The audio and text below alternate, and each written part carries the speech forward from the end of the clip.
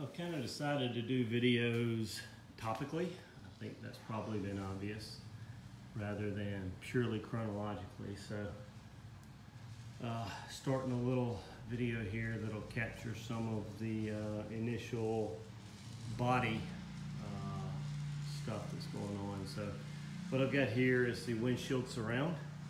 Um, I figure I need to go ahead and get this on so that I can understand exactly how the dash is going to mate up to this and how the brake uh, masters need to be relocated, kind of the next steps I think. So um, the previous owner had taped the windshield in with this duct tape, so I've got to get all the duct tape and residue off and then clean up the frames, which Factory 5 didn't bother to paint or powder coat.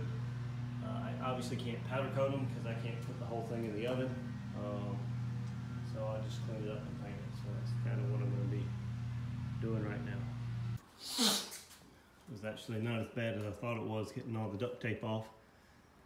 Uh, went at it with, uh, first I just peeled off what I could. I tried to uh, scrape some off with a, a uh, glass scraper here, but it was just too gummy and that didn't work.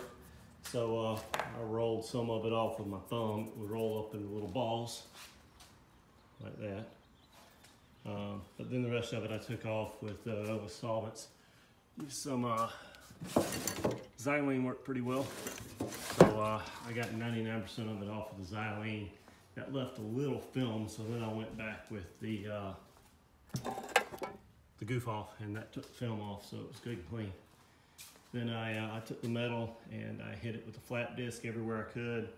And then I got a wire brush and some sandpaper out and got as close as I could in here. But like obviously way up in there, I still couldn't sand. So uh, putting a coat of rusty metal primer on it. And it'll, uh, it's supposed to convert rust to primer.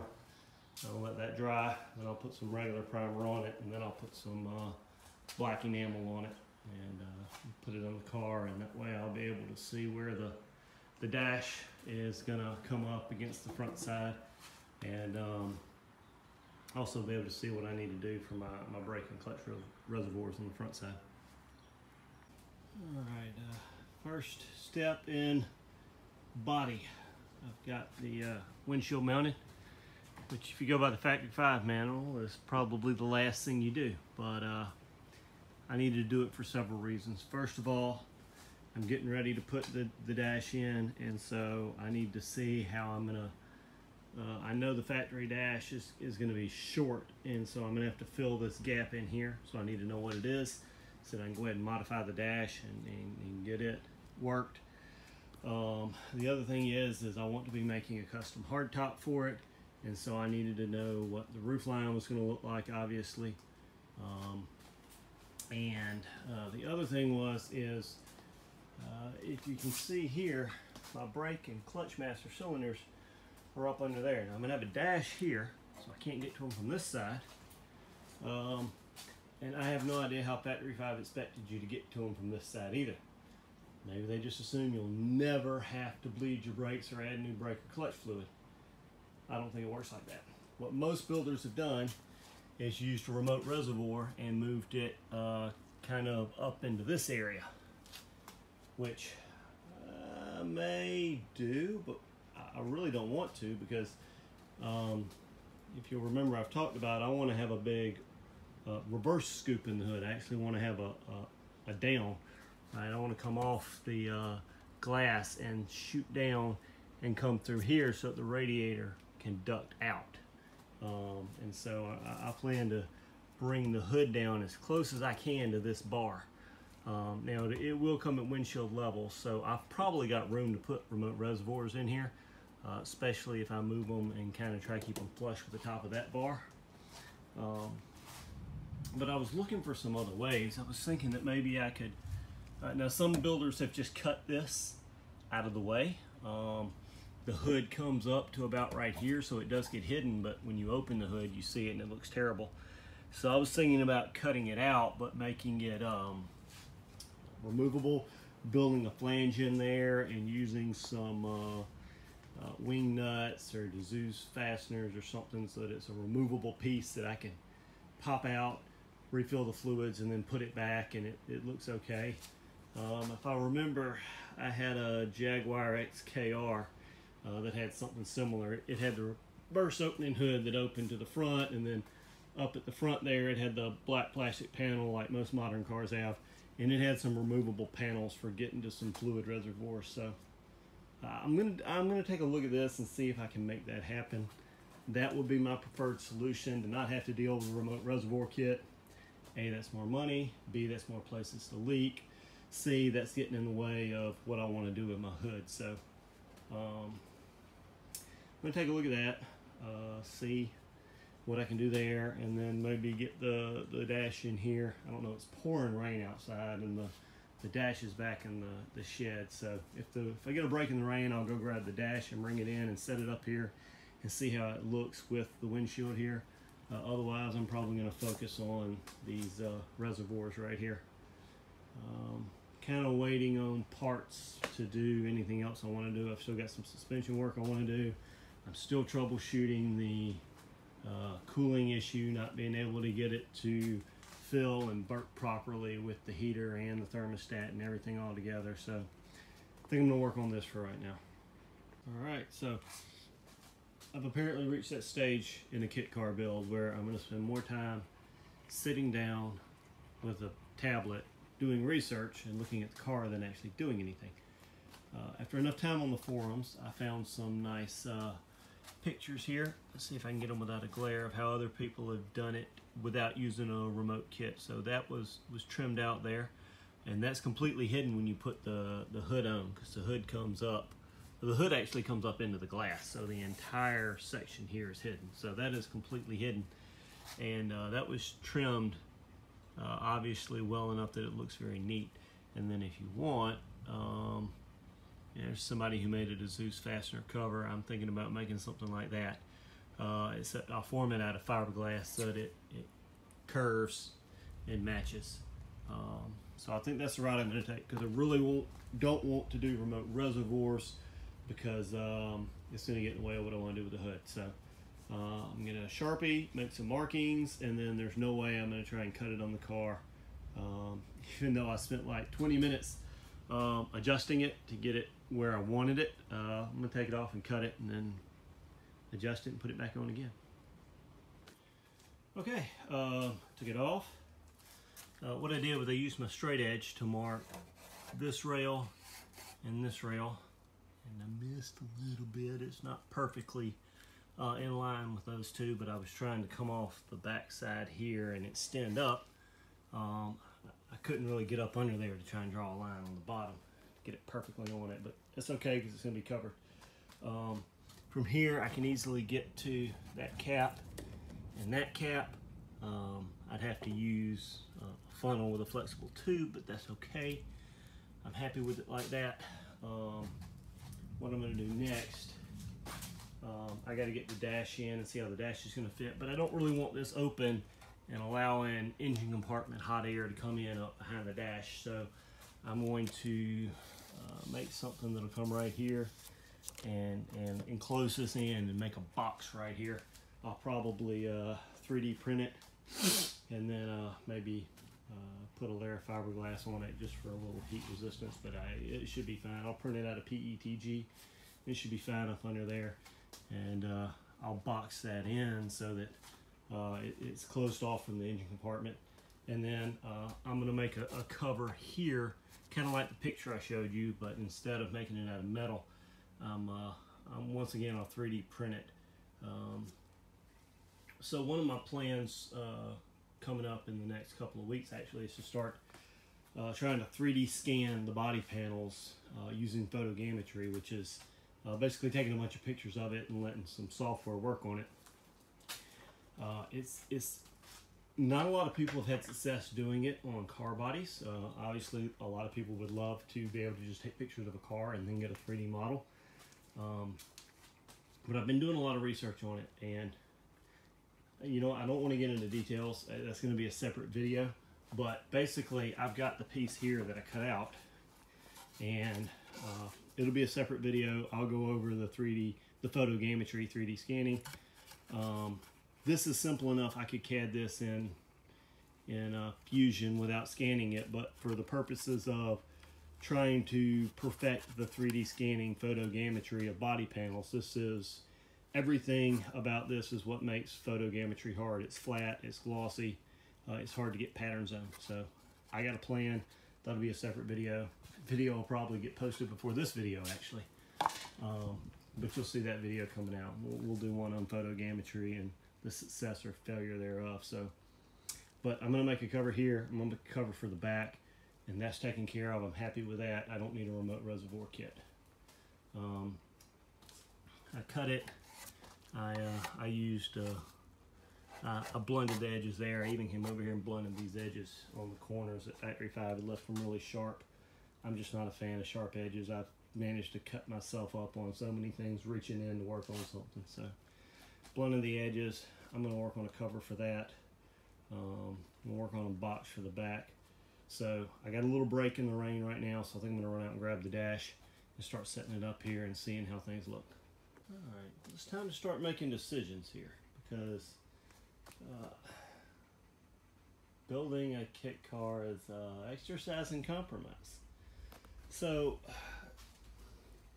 this is where the factory gauge cluster would sit, and that's dead middle of it. So if I line that up with the steering column so that the gauge cluster's in the center, then what I wind up with is the end on this side being about even with this peak. But the end on this side being outside, so I'm way off center. Um, also, if you if you try and step back and look at where that puts the, the dash in the car in general, um, you can see the shifter is even pretty much with the left edge of the radio console, all that. So it is it is way to the right. So I'm going to have to shift it off or to the left. It's way off to the passenger side, so I got to shift it to the driver's side. Right, and uh, if I center it up, I think that's about center.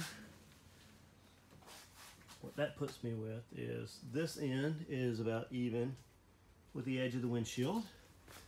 Um, and this end is about even with the edge of the windshield. I might be a half an inch off center towards the driver's side. It's too far. There we go.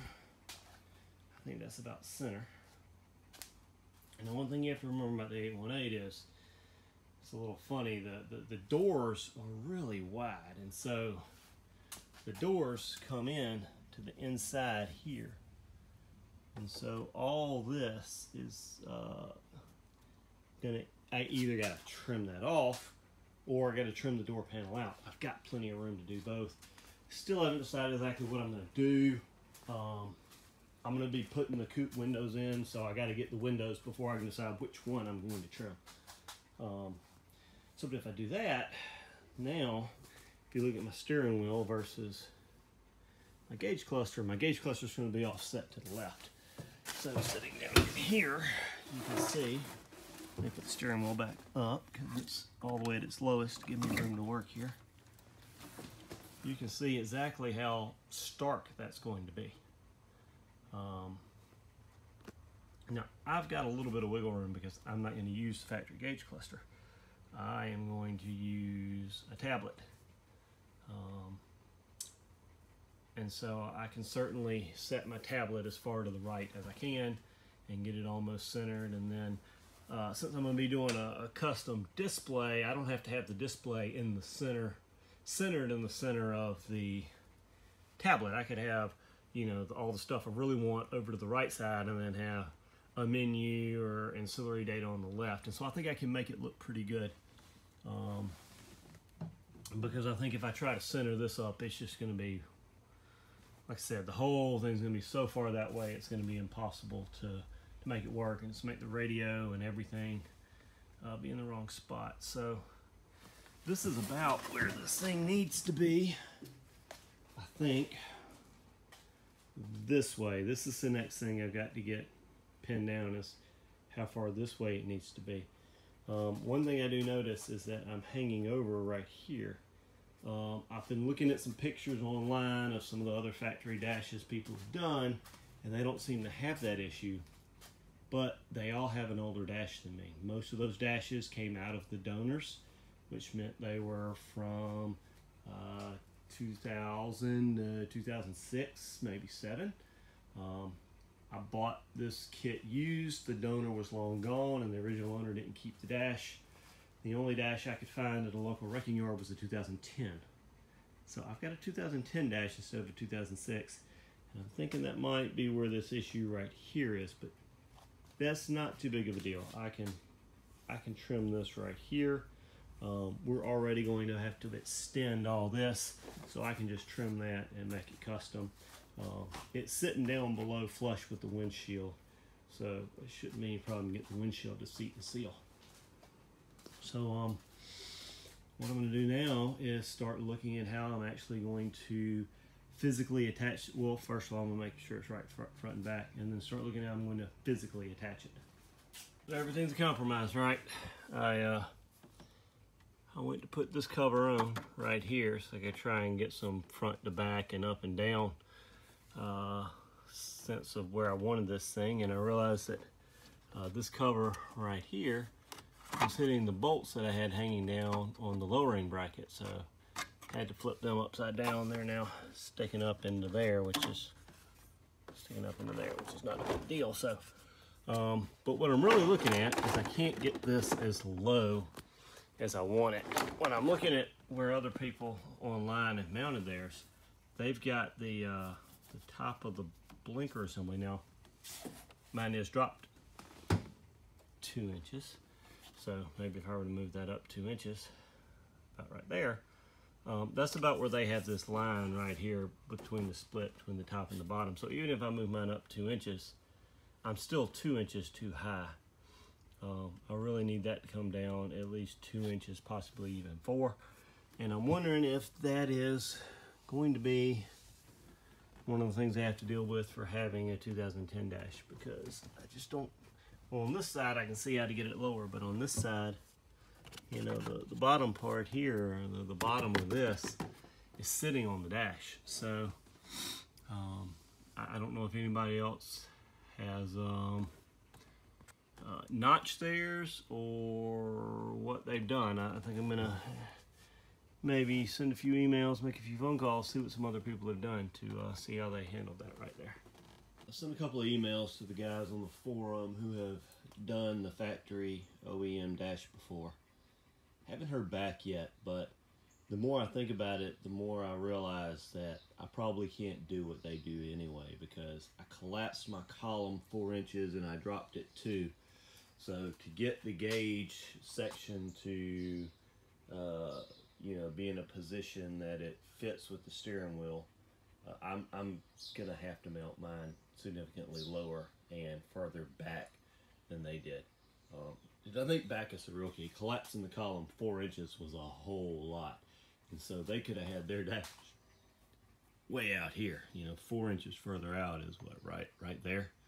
They could have had it all the way out there which would have allowed it to drop down past this bar that I'm hitting because it would have been back here.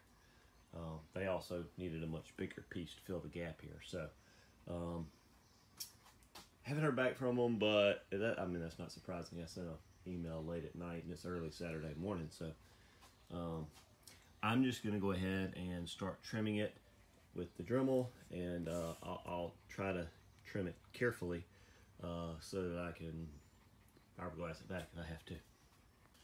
Alright, so you can see I trimmed out this area right here and then it's sitting really well just like that. Um, my only concern is how tight the blinker stalk is up against this so I could get that and, and how close I am to that. Um, look at this piece here, which I'm going to be modifying anyway. Um, but when you put that on, it's going to completely cover the um, switch that I'm using for the hazard lights. So it needs to go back a little bit from where it is. I've got it too far forwards at this point. Um, to do that, it basically means I'm gonna have to notch this, which is fine. I don't need this structure here. I'm just, I guess I'm worried about it getting floppy, but I don't think it will. It's got plenty of structure there, so trim a little more. All right, I think it's much better now. Uh, let's see if I can get a picture here. I can still get to my button for my hazards. Um, I've got about three inches of clearance there on the wiper stalk. Uh, I got plenty of clearance over, oops, plenty clearance over here on the blinker stalk. So I think I've, I've got it about where I want it front to back and up and down. Um, you know, my only concern looking at it here is the steering wheel is right in the middle of my gauge cluster. I mean, this is pretty much the view I have. So, um, I know a lot of people have, have uh, well, I don't say a lot of people, but I know at least several people have, have complained about that. And one of the guys that uh, has been talking to me about my um, SSM to CAN bus project is wanting to do it because he wants to put a heads-up display because he can't see it in his gauges because of the steering wheel. So I think that's just a problem with the design. Um, but to be honest, I'm not too sure how Subaru gets around it. I guess I need to look at some pictures of a factory Subaru dash. Uh, I guess, I mean, it seems like the top of the steering wheel should line up with this right here, and, and maybe I should be going for that. Uh, let me take a look and see if I can keep dropping the dash down. I mean, it would look a lot better, I think, the further I drop the dash. So let me see if I can get it lower. I dropped it down, and now I'm having second thoughts. Um, I took some pictures, uh, looked at some pictures of the dash in a Subaru, and the reason it it doesn't sit so low is the wheel so much bigger. Uh, this is probably a 12 or a 13 inch wheel, and a factory wheel is probably 15 or 16 inches, so it, it's got a lot bigger circle. Um, I, I, can certainly make this work, uh, but I'm starting to have doubts if it looks as good as I want, and also I'm having concerns about how it might made up with the doors if it's sunk too low. So I think I might actually pick it back up another inch um, since I'm going to be making a custom area here for my tablet, um, I'll just handle the up and down of the uh, uh, gauge placement when I do that. Now I've got it exactly where I want it, now I've got to figure out how to attach it. Um, and so the first thing I think I want to do is make some brackets that attach to these three pieces here and then sit there. Now I don't know if I actually want to bolt them in because I'm not sure how I'd actually do that. Uh, because I am going to extend this dash to come out beyond the windshield. So I won't be able to reach in from this side and I don't think I'll be able to reach in from the other side. But um, if I make them where they at least rest there, it'll keep it from rocking back and forth this way. Um, and I may be able to design them so that they would snap in and snap out not exactly positive, but for now I'm just going to make them where they stand there to keep my uh, tilt where I need it. And then once I'm happy with my tilt, I will um, I'll start looking at how I can attach it in the front. So off to the computer for a little bit. Attempted to mount the dash. I remember that one of the things I had on my to-do list was to convert the cruise control levers from ground triggered to positive triggered. And so I, uh, I fired up the, the RomRaider and connected to the ECU and started trying to figure out the buttons. And that led me into trying to figure out the brake switches uh, and the clutch switch because those tie into the cruise control logic. And turns out that those needed to be 12 plus as well. So, uh, but my my coach that triggers my tail lights is ground triggered. So um, what I thought was going to be a 10 minute job to move one ground wire to a, an ignition wire wound up being three and a half hours of re-engineering all the wiring for the brake, clutch, and cruise switches. Uh, but it's all done now. Uh, the the the brake and the clutch switch that go to the ECU pass 12 volts when you're not pressing the pedal. So if it doesn't get a signal, it thinks the pedal is pedal is pressed. And then the, um, the cruise sends 12 volts, wants to turn it on, and then down sends 12 volts to one pin, up sends 12 volts to another, and then if you pull in for cancel, it sends 12 volts to the same pin that detect the up and the down, and that's how it knows you've got that extra pull there. So all that's done, steering wheel's back on. Uh, the part to uh, for the center dash brace is finished 3D printing, so we'll grab some lunch and then come see how that brace fits up. So there's the 3D printed brace that I made. Um, and it holds really steady there, so it's not rocking back and forth now. So now I'll be able to kind of crawl up under the dash and make some measurements and figure out how I'm going to attach this thing in the front. Um, also, probably I'm going to have to go grab the windshield and set it in here so that I can see what kind of clearance I got and what I'm going to have to do in this corner to make everything fit like I want it to. I may have to go over and look at another Builder's 818 who's got his doors and all that cow together so I can see how all that's going to fit. Uh, but for now, uh, I'm going to figure out how to securely attach this so that uh, I can start making good measurements and uh, figuring out how I'm going to modify it. I'm printing the uh, first bracket for the front side of the AC condenser. And, uh, let's see. Fairly simple bracket. Let's see if I can get it to show up on the screen here. Oh, I need two hands to zoom around. Hold on.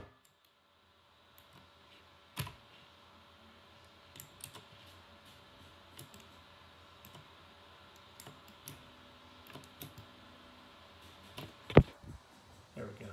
Fairly simple bracket. Uh, mount to the dash there. Uh, come down and then mount to the frame there. So I've got it printing over here.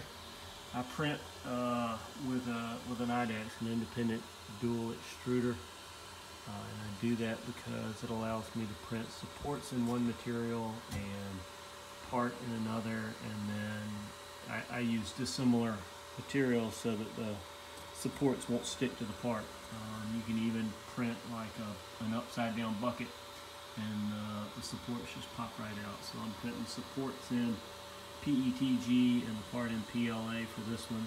Sometimes I invert it, depends on where the part's going. Um, this one's going to be in the cabin. I'm not worried about heat. Uh, and I prefer the stiffer PLA over the PETG's temperature resistance. So uh, once this thing gets done, we'll go see if I uh, guess right on the angles. It's hard to uh, measure an angle or something like that on the dash, but we'll see how close it looks once I get done. The, the bracket for the AC is, uh, is done printing. As you can see, it, I've already popped it loose. This is a magnetic uh, cover. You pop it off and then bend it, your parts will pop right off. And uh, that's the, the PLA in black and PETG is in gray. And as you can see, you can just one-handed break it away. Um, it's, it's so awesome, man. I, I, remember the days of printing everything in, in one uh, material, and you could spend an hour trying to clean the part up, breaking all the uh, supports off. And, uh, you know, that, they have uh, soluble supports, which is what everybody tends to talk about using is like using HIPS, HIPS with PLA, and you print it and then you throw it in the bathtub or a big five gallon bucket of water and the HIPS will dissolve and the PLA will stay. That's kind of messy and takes a long time and this PLA stuff just in the PETG, they pop right apart. Um, when you I print with a bed of 75 and the PLA stays a little soft uh, while you're printing, but it's never caused me any issues. Now this part is downright ugly. Um, That's because this is a brand new printer and I'm still working out the slicer settings. Um, I've also, the slicer I was used to, which was slicer with a three, uh, doesn't do great for the, the independent dual extruders, so I've moved to Simplify 3D. Um, and so I'm still trying to get used to it. But this uh, is going to sit just like this. That'll bolt to the frame, and then that piece will come up, and that this is like kind of above the glove box uh, near the AC vent, so it'll the dash will I'll put uh, I'll put some rivnuts in those two holes. Uh, the dash will bolt to that, and then so that'll bolt to the frame. And then when I put the dash up there, I'll be able to run two bolts into the rivnuts. So. Uh, we'll try that in a couple of days. Uh, I don't think I'm to be able to get to the shop. It's certainly late tonight, and I don't think I have time tomorrow. So, couple of days I'll get out there and uh, see how it fits. And if it fits, I'll bolt it in tight and then move on to making the next one. All right, do a quick little video here. Uh, kind of wrap up this segment of the dash so that I can go ahead and get that video posted and move on. So um, I printed, uh, I showed the other day I had printed the uh, piece that I wanted to mount uh, right. This thing will never stay still. Um, mount right here. You can see I've actually got it uh, screwed in there uh, on the dash and then coming down and mount right here on the frame. Um, and as you can see, part of it is attached to the dash and the other half is not. The, uh, the print failed and fell off. So um, I'll talk about that in just a minute uh, for those who are interested. But uh, kind of where I am is, you know, I, have been talking for a long time. I wanted to put the dash in. I wanted to put the dash in. Why do I want to put the dash in? Well, to put the dash in so that I could uh, see exactly how the hood and the windshield came together with the dash. Um, I wanted to start working on the custom gauge cluster physically, how the tablet's going to fit in there. I've, I've had some videos on the electronics behind it, but physically how it's going to fit in there. Um, I wanted to go ahead and wire the radio uh, and the, the backup camera and all that so that I could be done with wiring in the cabin. So that was what was driving me to want to put the dash in. But uh, the more I work on it, the more I've talked to the, some of the people who have done this before. I just I think I'm gonna have to wait because the biggest thing in making this um, factory Subaru dash work is how you tie it in to the doors uh, and make the door panels match. And not only am I doing the custom dash, I only do custom door panels. And then with my column being dropped and compressed, dropped two inches and compressed four, um, I can't use other people's mounting points as a reference. So uh, I think if I try and mount the dash right now, I'm going to find myself undoing it and redoing it later to make it match whatever I do with the doors. So I think as bad as I want the dash mounted, I need to take this, put it back in the storage unit, and uh, wait until I have the doors done to focus on the dash. So um, that's that's kind of uh, where I'm at on the dash. I'm gonna wrap that up. What's next? That's body. I'll probably even do a what's next video here in the next week or so, really talking about uh, the shift in direction from mechanical to cosmetic and what my vision for the car is and kind of what to expect out of the channel. Um, you know, so far everything I've done is, well, I won't say it's been by the book. I haven't done anything by the book, um, but it hasn't been other than maybe the shifter, things that really add a wow factor to the car. Um, the body is really where I want to do a wow factor. I really want to do a lot of customization on the body, so I'll do a video on that. Um, but for now, the dash, going back in the storage unit, and it's just going to have to wait until the doors are finished. Um, I said I'd mention about the failed 3D print a little bit. You know, the other day I threw around some terms like um, IDEX and slicer, and I didn't really explain what any of that meant. Um, I realized that most people who are watching this video are watching it because of a car, and so they might not really understand a lot or be familiar with 3D printing. Um, so I'm, I'm going to talk a little bit about that because 3D printing is going to be coming in big when I get into the body modifications as well.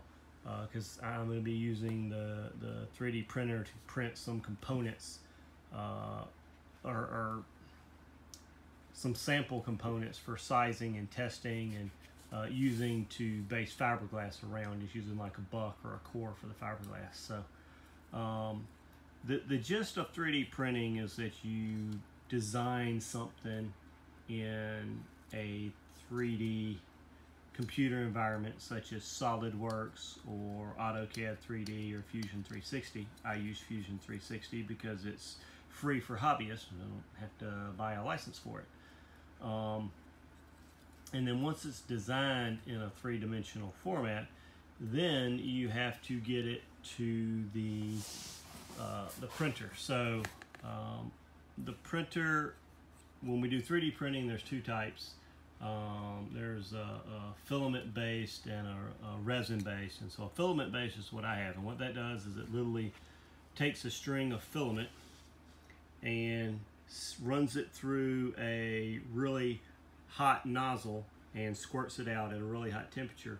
Um, and then that nozzle moves around. And so you draw with molten plastic whatever you want the very bottom layer to be. And then the nozzle moves up just a tiny bit and it draws another layer and because it's coming out really hot it sticks and melts to the layer below it and so that's why when you look at these parts you can see actual layers where it printed a layer at a time um, and so when I threw out the term IDEX, independent that means independent dual extruder IDEX for extruder um, what that meant was my printer has two extruders on it, which is a fairly new concept, uh, you know, maybe a couple of years old. And I've been 3D printing for over 10 years now, so in the in the era of 3D printing, it's a fairly new development.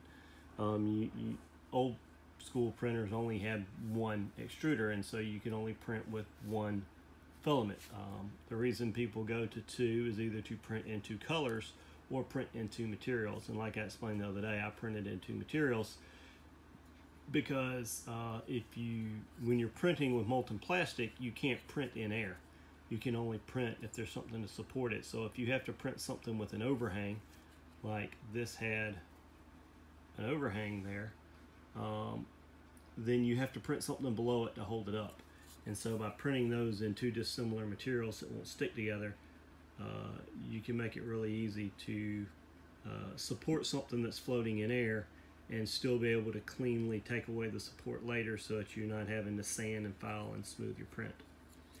Um, the other term I threw around was a slicer. And what a slicer does is it's a piece of software that takes your three-dimensional object and turns it into the actual tool path that you're going to use. So a lot of people who are watching cars are familiar with, uh, Car Channel are familiar with CNCs. And if you're familiar with a CNC, then you know it's basically the reverse of a 3D printer. A 3D printer takes an empty space and runs a tool path from bottom to top to extrude a product.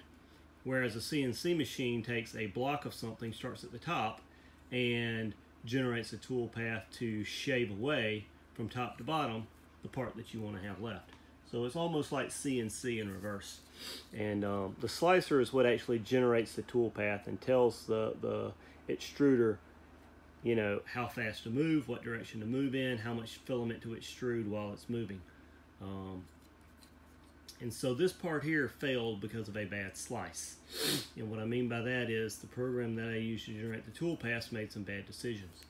If you look at this, uh, see if I can get it to focus here um, you see how it basically drew a T. When you come down here and look at this end, it made a curve. It curved back around. Um, and so it drew a T, and then it drew another, because this, if you remember, looked like an I. So it drew a T, and then it came back and it drew another bar on the bottom, rather than drawing an I. Why it did that, I'm not too sure. I'm still getting familiar with this new software. But what that led to was that this was one solid piece, and then the other bar that was right here was basically another piece that was kind of laid on top of there. And yes, this piece was hot when it went down, and this piece was hot when it went down, so it did have some adhesion. It held together while I was walking around with it and drilling it and all that. But once I put weight of the dash on it, because that wasn't printed as a solid piece and it just had a little bit of layer of attachment there, it snapped off. So uh, this is a 3D print that failed because of a bad slice because you can see that nothing broke right here. It's not like um, there's any jagged marks there where this plastic itself broke. This was where it tried to put two layers together in a sideways manner instead of a top and bottom manner, which is, is not designed to do. And there was, there was an air gap in there. And so it did not stick well at all. Um, so that's uh, that's just a little bit about 3D printing and what happened there and uh, what's going to be going on. When we get into the body, we'll be 3D printing, uh, you know, maybe vents or louvers or uh, brackets or all kinds of stuff we'll be doing uh, to help with the body modifications. So um, just a little primer on some of the language you may hear thrown around. So um, I'm gonna I'm gonna wrap up all the dash videos together and I'm gonna get them posted as a topical as dash part one or something like that even though it's going nowhere you may even find a, a, a cool title like quicksand or going nowhere or something like that who knows um, but the dash is going back in the storage unit uh, the stock gauge cluster will be going back in for now uh, just getting zip tied back to the dash frame so that uh, I can still drive it move it around um, it's Memorial Day weekend, so my, my hope is to get the cooling system wrapped up before Memorial Day. That way I can maybe uh, do some go-karting and driving around and having fun over the long weekend. And then um, get started on the body mods after that.